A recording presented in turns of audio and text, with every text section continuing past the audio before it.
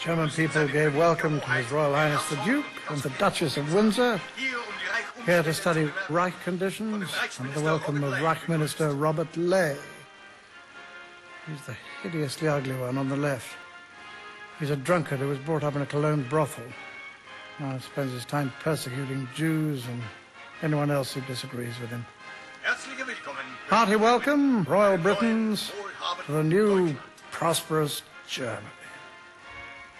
I was under the impression it was the king who made state visits. And the Queen. Don't forget the Queen.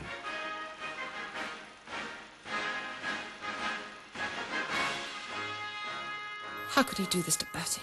Ah, ah, oh, Extraordinary. vile gesture. Good God.